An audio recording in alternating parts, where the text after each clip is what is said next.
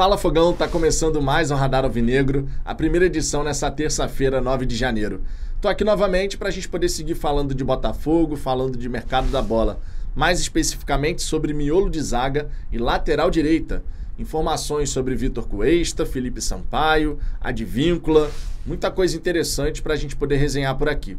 Além disso, quero destacar que nessa terça-feira no estádio Newton Santos teremos a apresentação de dois reforços. Eles já foram anunciados nas redes sociais, o goleiro John e o zagueiro Lucas Halter, mas claro, vão passar por aquele rito tradicional, tradicionalíssimo, eu diria, da coletiva de apresentação. Eu já busquei fazer o meu credenciamento, mandei a mensagem no prazo, tudo bonitinho, para poder participar dessa coletiva. E recebendo o ok de que eu possa participar da coletiva, às 15 horas estarei presente no estádio Newton Santos para poder fazer as minhas perguntas para o John e para o Lucas Halter. Já estou matutando aqui o que, que eu posso questionar para tirar uma resposta super interessante para a torcida. Tomara que dê tudo certo. Agora, antes da gente falar aqui o que eu tenho para falar nesse vídeo, peço por gentileza que você deixe o seu like, que você se inscreva aqui no canal, é sempre muito importante. A sua participação aqui no Fala Fogão nos ajuda a seguir crescendo, a alcançar cada vez mais botafoguenses. E dessa forma, a gente pode chegar aos 38 mil inscritos, 40, 50 mil inscritos e chegaremos lá com toda certeza. Ah, lembrando, tá? Na hora do almoço, pode ser que a nossa resenha comece um pouco mais cedo, tá? Quero passar esse recado aqui porque é importante. Eu, eu moro em Niterói, todo mundo que acompanha o canal há mais tempo sabe, e para chegar no estádio Newton Santos eu preciso aí de um tempinho. Então, se eu fizer a resenha no horário que eu costumo fazer, eu não consigo participar da coletiva de apresentação. Beleza? Então a gente pode começar a nossa resenha ali por volta de meio-dia e meia nessa terça-feira, faz durante uma hora a nossa resenha e ó, parto para o Rio de Janeiro, estádio Newton Santos, tá? Importante recado aqui para ninguém ficar meio perdido no, no pagode, digamos assim. Agora vamos seguir em frente para falar sobre esse miolo de zaga do Botafogo e a busca pelo lateral direito. Só que para começo de conversa, eu quero comentar com você aqui a questão da barca do Botafogo. Você já parou para reparar quantos e quantos nomes já entraram nessa barca? Quantos jogadores já não fazem mais parte do elenco para 2024? Vamos posição por posição? O João Fernando foi emprestado para o Boa Vista. O Lucas Perry vendido para o Lyon. Na lateral direita, o Di Plácido voltou para o Lanús. No miolo de zaga, Adrielson foi para o Lyon, o Sampaio está indo para o Molenbeek emprestado. O Souza também está indo para o Molenbeek emprestado. E o Vitor Cuesta está de saída. A gente só não sabe ainda qual é o destino. Pode ser a MLS? Inter Miami? Pode ser. O interesse do Inter Miami no Cuesta, inclusive, não é de hoje. Já havia tido interesse no passado. Agora, a gente também tem a questão do Bahia, que já teve interesse no Cuesta, você lembra bem. O Bahia chegou a sinalizar com uma proposta para o Internacional, o Botafogo foi lá e comprou o jogador. O Botafogo teve que investir aí 2 milhões e meio de reais na contratação do Cuesta. Fez um ótimo primeiro turno do Campeonato Brasileiro, mas o fim de campeonato do Cuesta foi complicadíssimo. Na lateral esquerda, Hugo e Marçal vão seguir ao que tudo indica. No meio de campo, o Lucas Fernandes foi devolvido do empréstimo. A mesma coisa vale para o Gabriel Pires. O Gabriel Pires para o Benfica o Lucas Fernandes para a Portimonense. Também vale destacar na ponta esquerda o Luiz Henrique, o Carlos Alberto, Luiz Henrique voltando para o Olympique de Marseille, o Carlos Alberto indo também para o Molenbeek, mais um atleta. Ah, esqueci do JP na lateral, que teve seu contrato renovado, mas foi emprestado para a Inter de Limeira. O Emerson Urso mal chegou e já vai ser emprestado, então nem acaba contando muito como barca nessa brincadeira aqui. No ataque você tem o Diego Costa, não que o Botafogo queria que o Diego Costa fosse embora. O Botafogo até demonstrou interesse na permanência do atleta, mas o Diego Costa não conseguiu se alinhar com a diretoria do Botafogo. É uma barca que tem mais de 10 nomes. Então o Botafogo está fazendo uma limpa ali no seu elenco bem considerável. É claro que para muito torcedor ainda teria atleta aí para sair. Posso falar dois aqui de imediato: Marçal e Marlon Freitas. Para alguns, inclusive, Eduardo e Tiquinho, que na minha opinião não faz o menor sentido. Você não pode abrir mão de dois jogadores que têm talento que tanto participaram dos gols do Botafogo em 2023, porém que precisam ter sombras. Precisam ter jogadores ali para poder revezar, disputar a posição. A gente sabe que o Botafogo está buscando um meio atacante, tanto é que tentou a contratação do Roleiser e tal, e tem que seguir nessa busca, inclusive. E também tem que seguir na busca por um centroavante para poder ó, brigar por posição ali com Tiquinho Soares. É o que a gente precisa, sinceramente. Vamos ver como é que a diretoria do Botafogo vai conduzir essa história toda. No miolo de zaga, praticamente ninguém vai ficar. O Bastos vai ser o único remanescente. Porque com a saída do Sampaio, do Adrielson, do Cuesta e do Souza, que não ficou a temporada inteira de 2023, mas a segunda metade estava aí, todo mundo está partindo.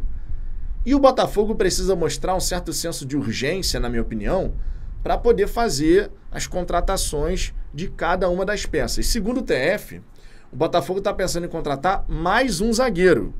Somente mais um zagueiro. Ou seja, a gente teria aí o Barbosa, o Lucas Halter, o Jefferson Maciel, o Bastos e mais um zagueiro. Cinco zagueiros no grupo é um bom número. Quatro é temerário, porque qualquer coisa que aconteça, você vai acabar ficando sem peças para você poder escalar a equipe. Por mais que você possa eventualmente recuar o Danilo Barbosa, e eu já disse aqui no canal que gostaria de ver o Danilo Barbosa atuando como um zagueiro. Pelo menos para a gente ter uma ideia se daria certo. Quando jogou com três zagueiros, o Danilo atuando ali na zaga pela direita, jogou pra caramba. Isso tem que ser dito. Na lateral direita, a gente também tem um grande buraco. Não é nem lacuna mais, é um grande buraco. Porque o Rafael está se recuperando, o Matheus Ponte está no pré-olímpico, e nesse momento, você teria que improvisar o Tchê por ali logo no começo da temporada. O Botafogo já está tentando um lateral direito faz algum tempo. Teve informação dizendo que tentou o William, do Cruzeiro, só que a equipe celeste pediu o Marlon Freitas mais uma quantia em grana, em cash, e aí o Botafogo não quis, não quis avançar nessa história. Agora, segundo César Luiz Merlo, do TIC Sports, o Botafogo teria feito uma proposta de um milhão de dólares pelo Advíncula, lateral direito do Boca Juniors, que inclusive fez gol na final da Libertadores contra o Fluminense. Foi dele o gol de empate do Boca. Só que o Riquelme rejeitou. Nem quis saber de proposta nem nada, segundo o César Luiz Merlo. E olha que a proposta para Advíncula para o jogador, não para o Boca, mas para o jogador, seria sensacional. Três anos de contrato, um salário muito, mas muito maior do que ele ganha atualmente no Boca Juniors, que não é tão difícil assim, porque o futebol argentino não está com essa grana toda.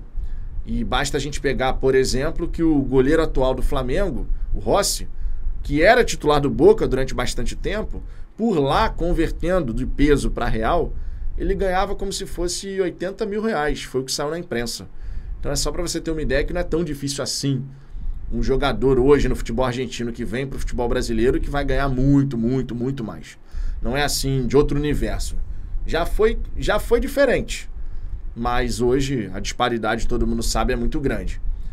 São lacunas que a gente tem, são buracos que a gente tem aí no time do Botafogo, no elenco do Botafogo, e a gente espera que o quanto antes possam ser preenchidos, porque a temporada vai começar daqui a pouquinho. Você começa a ter um jogo atrás do outro. Vem pré-Libertadores aí, na altitude, inclusive, primeiro jogo. Seja em Cochabamba, seja em Arequipa, só vai depender de quem vai passar. Se é o Aurora ou o Melgar. Inclusive, já vai ter jogo por agora, tá? Então é bom a gente ficar de olho no confronto para a gente poder conhecer o nosso futuro adversário. Vai ter esse confronto, vai ser transmitido, certamente. E a gente vai estar de olho para poder acompanhar e ver o que, que essas duas equipes têm para apresentar. Nosso maior adversário provavelmente vai ser a altitude, mas é bom a gente conhecer a equipe que vai enfrentar o Glorioso na fase 2 da pré-Libertadores. Enfim, uma barca ampla, algumas contratações. Até agora a gente está falando de quatro jogadores contratados efetivamente. Savarino, a gente espera que chegue ainda essa semana. Chegaremos à quinta contratação, mas cá entre nós precisa de mais, bem mais. Olha que eu estava falando de seis a sete contratações nessa janela. De repente a gente vai precisar até de mais, cara. Porque dois zagueiros contratados, um goleiro. No gol, tu não precisa mais se preocupar. Na zaga, os dois zagueiros não vai ser suficiente. Vai ter que chegar pelo menos mais um. Na lateral direita, tu precisa de no mínimo um. E olha que a gente quer, gostaria de ver dois. A gente gostaria de ver dois. No meio de campo, o Botafogo estava buscando o segundo homem de meio de campo e também um terceiro para poder revezar com o Eduardo. Você teria alguém ali para revezar com o Tietê, justamente para preencher a saída do Gabriel Pires. E você teria um outro para poder revezar com o Eduardo. No ataque, embora a gente tenha o Valentim, o Janderson e o Matheus, o Botafogo pode querer um atacante um pouco mais experiente, cascudo, o que faria sentido. Nas pontas, com a chegada do Savarino, vai estar tá tudo certinho, já vai estar tá fechado, mas ainda tem muito por fazer. Ainda tem muito por fazer. E isso é indiscutível. Indiscutível. O tempo urge. É bom lembrar. Enfim, Fogão, tô indo nessa. São essas as informações que eu queria compartilhar com você nesse vídeo. Eu espero que você tenha gostado. Sempre reforçando a nossa programação aqui no canal. Nessa terça-feira teremos quatro conteúdos. 8 da manhã é o vídeo que você está assistindo. Hora do almoço, provavelmente começando ali por volta de meio-dia e meia, nessa terça-feira, mais cedo, por conta da coletiva de apresentação. Depois, às 18 horas, mais um conteúdo em vídeo. E às 22 horas, mais uma resenha. Então, programação completaça. Se inscreva aqui no canal, compartilhe esse vídeo e dê essa moral para esse que vos fala. Um grande abraço e ó, até a próxima.